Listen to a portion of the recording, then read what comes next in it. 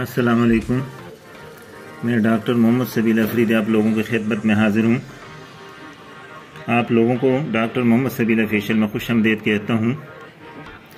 कल के प्रोसेस में मैंने जो मोबाइल से ये निकाला था, जिसमें ये चिप्स भी हैं और कनेक्टर्स हैं गोल्ड प्लेटेड पेन है, सब कुछ मिक्स है, वो सारा कचरा जो मैंने उसे बर्नर के ज़रिए उतार के निकाला था।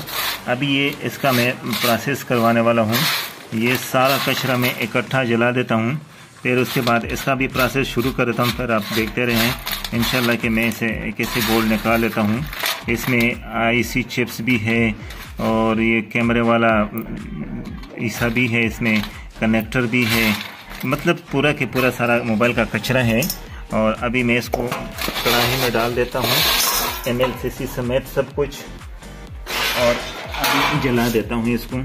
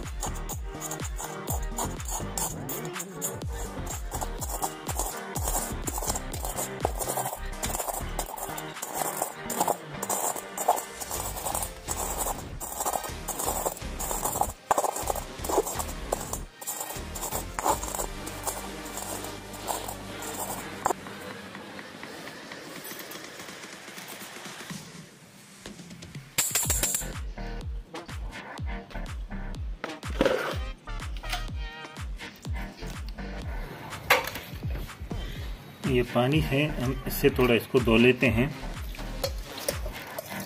ताकि इसमें ये राख कम हो जाए।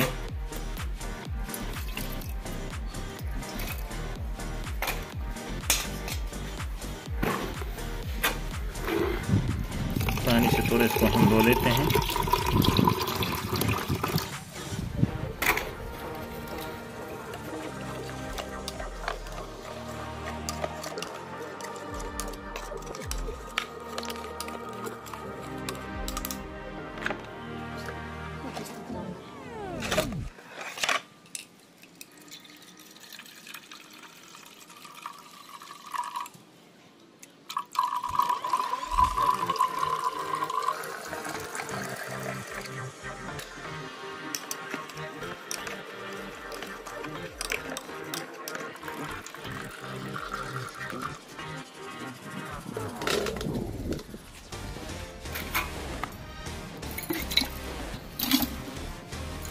अब इसमें हम शुरे का तेज़ाब डालते हैं और पानी थोड़ा, ताकि इसमें जो कॉपर है, ताकि वो ख़त्म हो जाए इसे।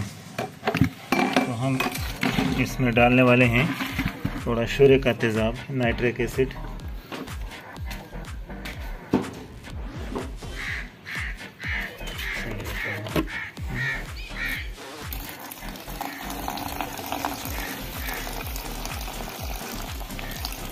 मास्क ज़रूर पहना इसलिए इसमें जो फॉर्म उड़ता है, ये बहुत ख़तरनाक किस्म का होता है।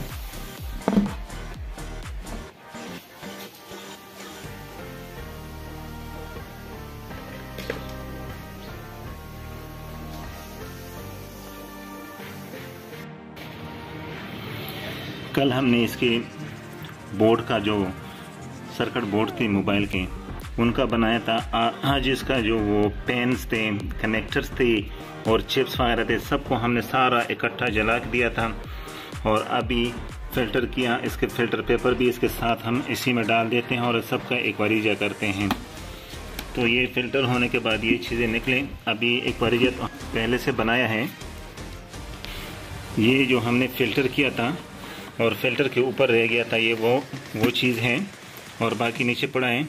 एक बारी जो हमने थोड़ी देर पहले बनाया था, इसका थोड़ा टाइम हो गया तो इस वजह से ये रेड कलर में बन गया। और ये इसमें हमने तीन हिस्से हाइड्रोक्लोरिक एसिड इन्हें नमक का तेज़ाब और एक हिस्सा शोरे का तेज़ाब मिलाया है। और ये एक वरीजा बन गया है। अब ये इसमें हम डाल देते हैं और फिर थोड़ी देर के लिए छोड़ देते हैं इसको।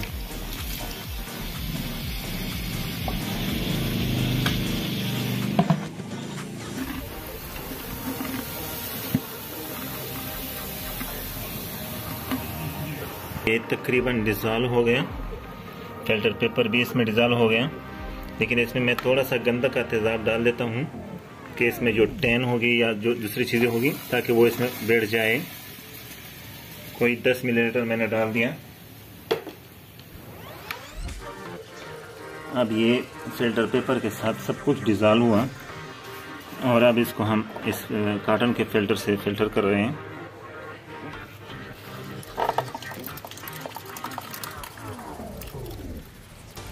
हलवा सा बन गया है, लेकिन इसमें से इंशाल्लाह अच्छा खासा गोल निकलेगा। इसलिए कि इसमें आईसी चेप्स भी थे और गोल प्लेटेड पेने भी थे। काफ़ी मिक्सचर था इसका, सारे मोबाइलों का।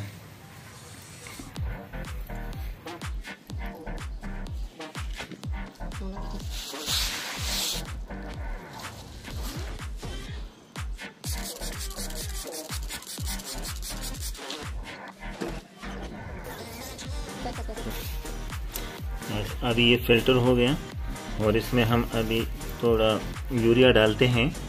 अगर यूरिया किसी तो कुछ गदलापन इसमें आ गया तो फिर हम इसको दोबारा फ़िल्टर करेंगे। और दोबारा फ़िल्टर करना बेहतर होता है, थोड़ा ज़्यादा साफ़ हो जाता है सोल्यूशन तो अभी हम आहिस्ता आहिस्ता यूरिया डाल दें ताकि इसको न्यूट्रलाइज़ करें। इसका जो एसिड होता है, तेज़ाब होता है, वो न्यूट्रल करने के लिए हम ये यूरिया इसमें डाल देते हैं। ताकि जो गोल्ड इसमें प्रिसिपिटेट हो जाए, ताकि वो दोबारा डिज़ॉल्व ना हो जाए ना हल ना हो जाए। और ये यूरिया दानेदार केमिकल है फर्टिलाइज़र है, खाद है, लोग खेतों में इस्तेमाल करते हैं फ़सलों के लिए।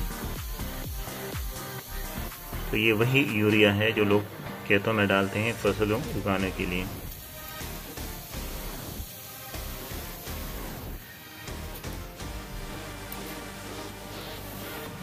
यूरिया तब तक डालना होता है जब तक इसका जोश ख़त्म ना हो जाए। बस यूरिया इसके ऊपर तैरना शुरू हो जाता है तो ये इसका मतलब ये हो गया कि ये अब न्यूट्रल हो गया। और इसमें मज़ीद यूरिया डालना नहीं चाहिए। बस अभी ये जोश मारना इसने बंद कर दिया। तो अब ये तेज़ाब न्यूट्रल हो गया। लेकिन थोड़ा हमें गदलापन नज़र आ रहा है, शायद वीडियो में नज़र नहीं आएगा तो इस वजह से हम थोड़ा दोबारा इसको फ़िल्टर करते हैं, ताकि ये सोल्यूशन थोड़ा शफाफ हो जाए। फिर हम इसमें सिम भी डाल देंगे। फिर 24 घंटे के लिए रख देंगे जो गोल्ड होगा वो नीचे प्रेसिपिटेट हो जाएगा, नीचे बैठ जाएगा। फिर हम कोशिश करेंगे, देख लेंगे, अगर ज़्यादा हो तो हम पिघला देंगे।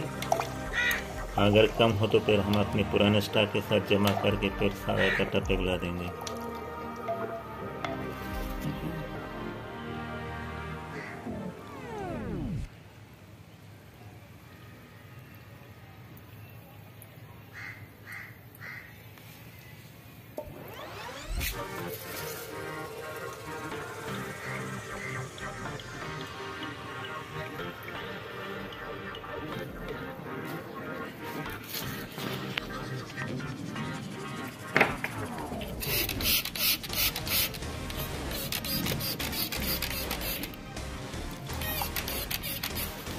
ये एस एम बी पाउडर है।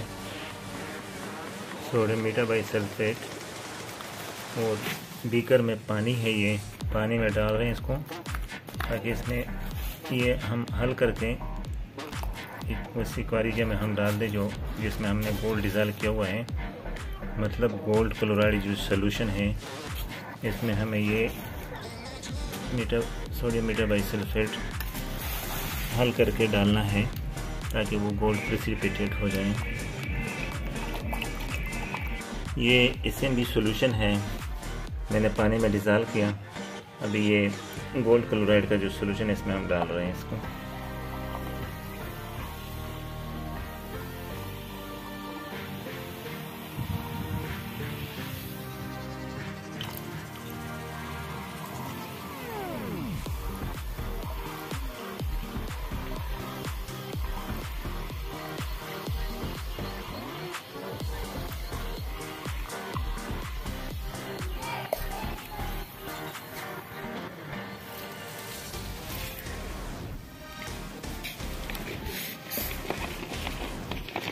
थोड़ा पानी इसमें हम डाल देते हैं। सादा पानी है ये।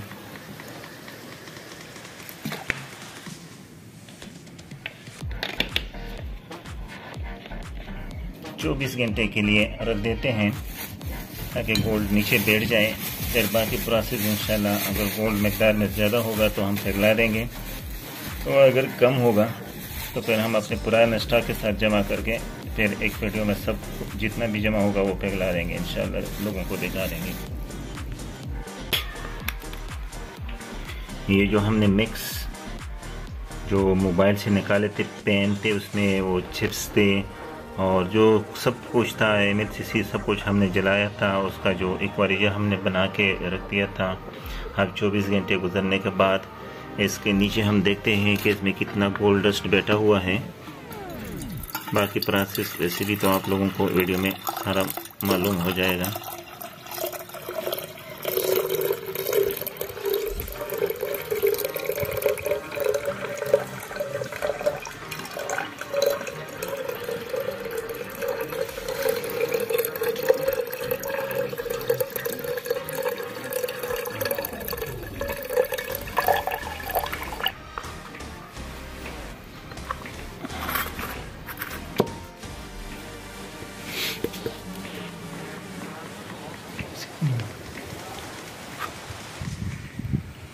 ये वो गोल्ड डस्ट है और निकला है अभी इसको हम रख देते हैं पुराने स्टॉक के साथ।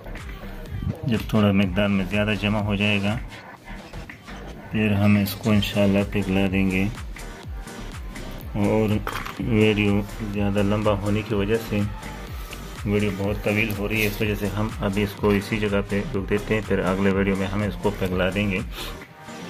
और आप लोगों को हम याद दिला रहे हैं कि जो लोग हमारे चैनल पे नहीं है, वो लिहाजा चैनल को सब्सक्राइब करें। और जिन्होंने सब्सक्राइब किया हुआ है, उनका बहुत बहुत शुक्रिया। असलम